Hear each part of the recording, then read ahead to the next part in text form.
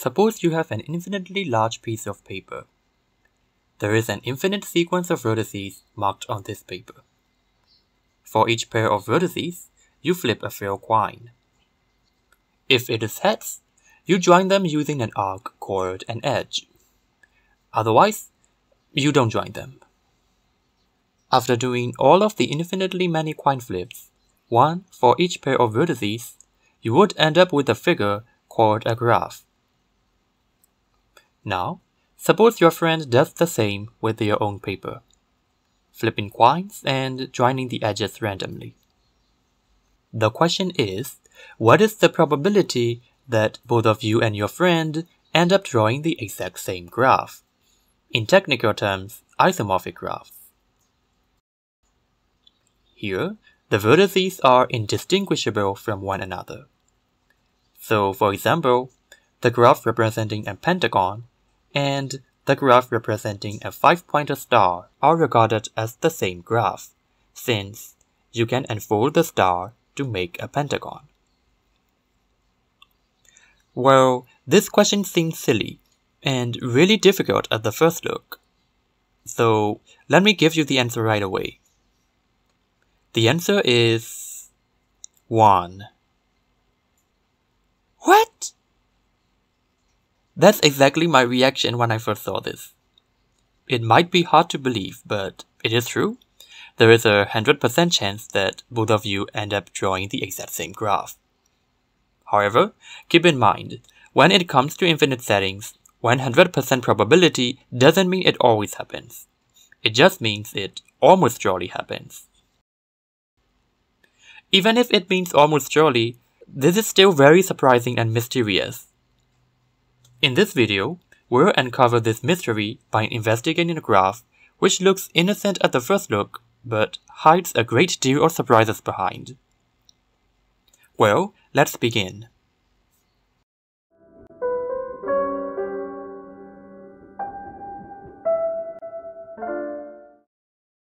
As I said, We'll first investigate this innocent looking graph, which is called the Rado graph. You first lay out an infinite sequence of vertices labeled 1, 2, 3, and so on. Let's take a look at how the edges are drawn. Look at two vertices x and y, with x smaller than y. We will join them by an edge if the eighth digit of y is odd. Otherwise, if the eighth digit of y is even, we don't join them. Here, the digits are counted starting from the right. So, for example, 1 is joined to all the odd numbers, because a number is odd if and only if its first digit is odd. 2 is joined to, for example, 10, 11, 12, 572, everything with an odd number in its second digit. Here, notice that the second digit of a single digit number is regarded as 0, so vertex 2 is not joined to 3, 4, 5, and up to 9. Well, this construction seems to come out of the blue and quite random. However, this innocent looking graph hides an amazing property which on the surface also looks innocent. Have a look. Take two disjoint subsets of vertices, say U and W. Here, in this example, U contains 1, 3, and 5, and W contains 2 and 6. Now, make a number by putting an odd digit at first, third, and fifth places and put an even digit at second and sixth places.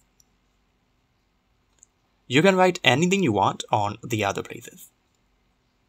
Then you can see that this newly generated vertex will be joined to every vertex in U, but not joined to any vertex in W. There is a subtle detail here is that this newly generated vertex lies outside of both u and w. Of course, this holds in general.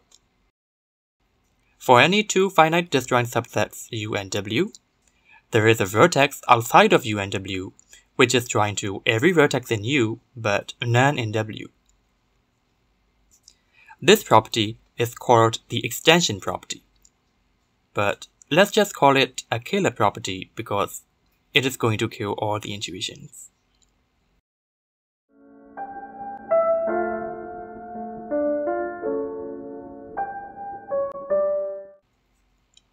This killer property looks normal on the surface, but you'll notice something fishy once you realize what you can do with it.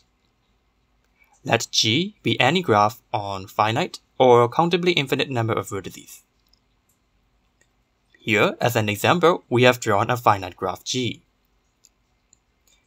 Can you find the exact same copy of G inside the Rado graph?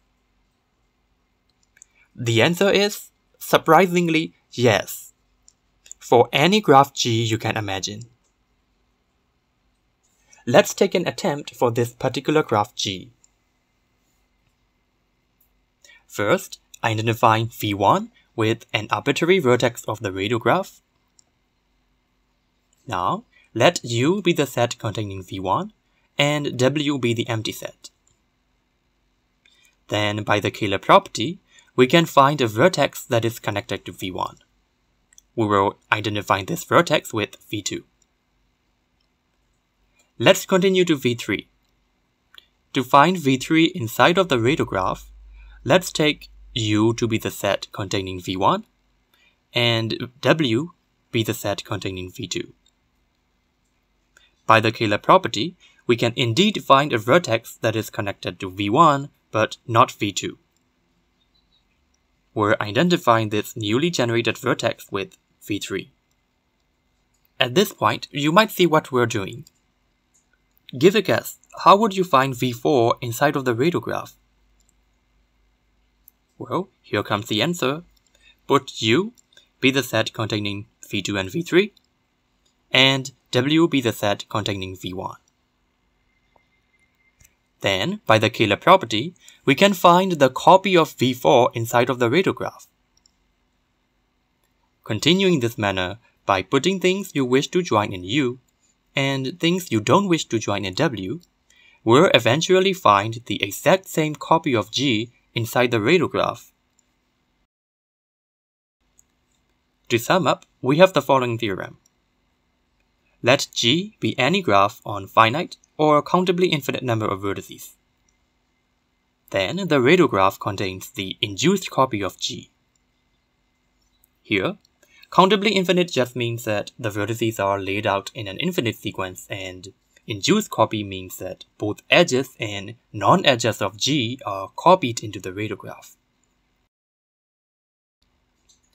This theorem is amazing. Just think about it. Every single finite or countably infinite graph you can imagine, no matter how complicated it is, can be found as an exact copy inside of the Rado graph.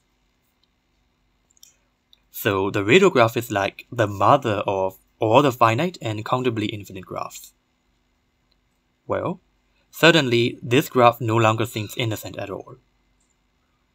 We now have all the evidence ready to build up our proof for the surprise mentioned at the start of the video.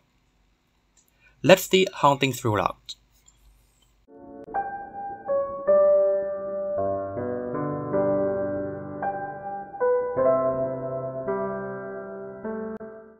We'll prove the assertion in two steps.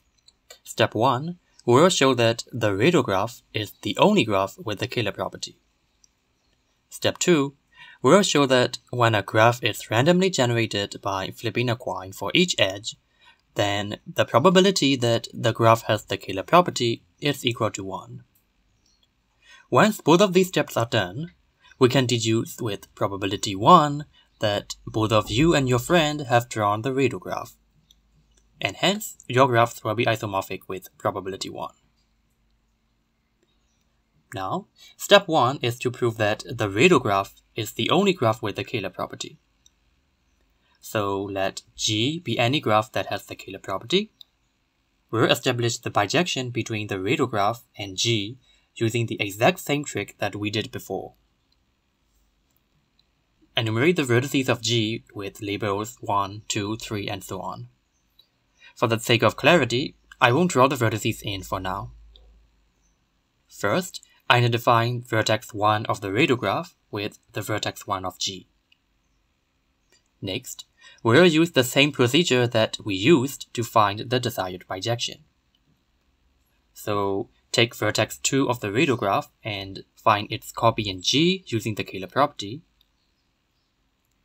Then onto vertex 3, take vertex 3 of the Rado graph and find its copy in G using the killer property, and so on.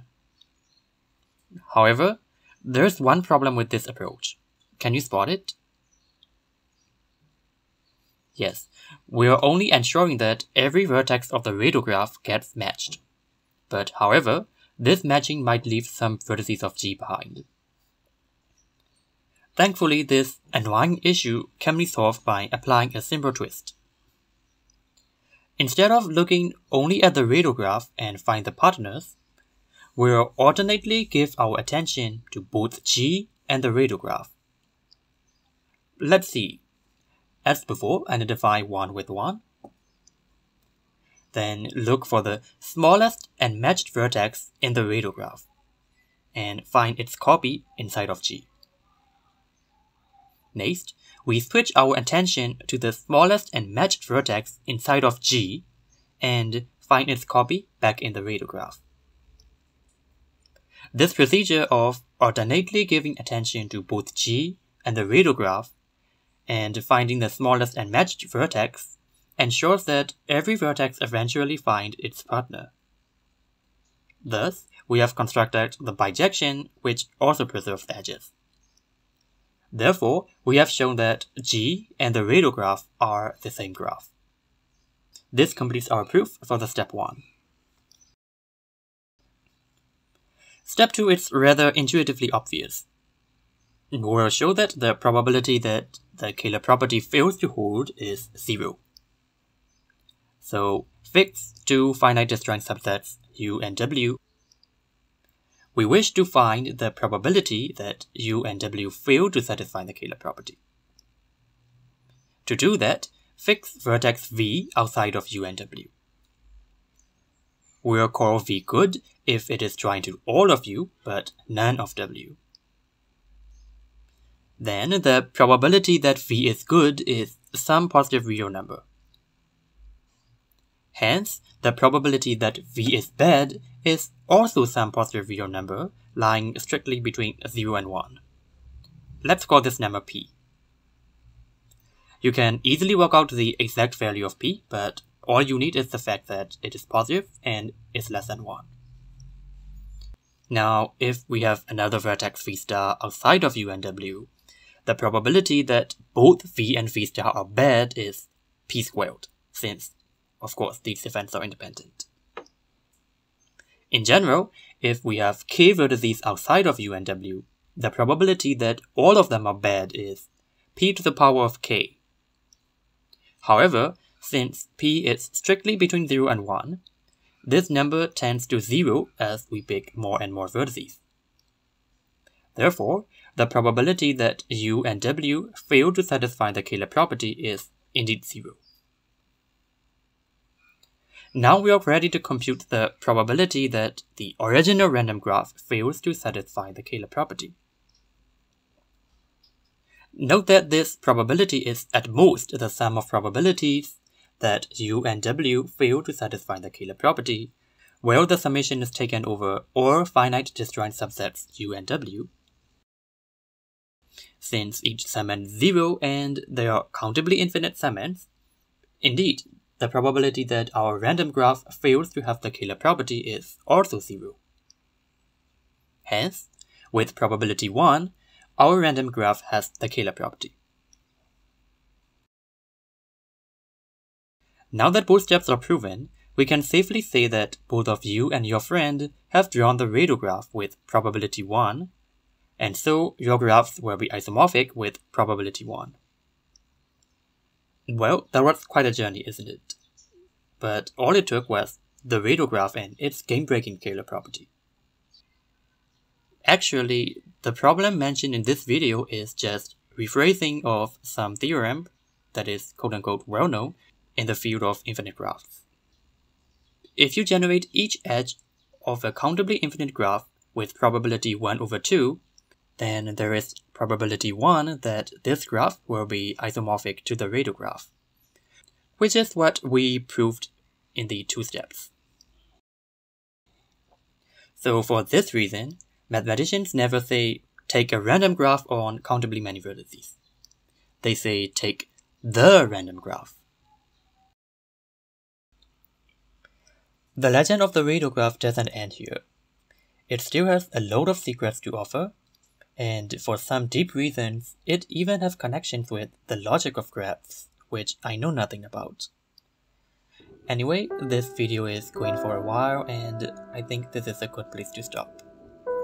If you liked the video, make sure to give it a like and also subscribe if you wish. See ya!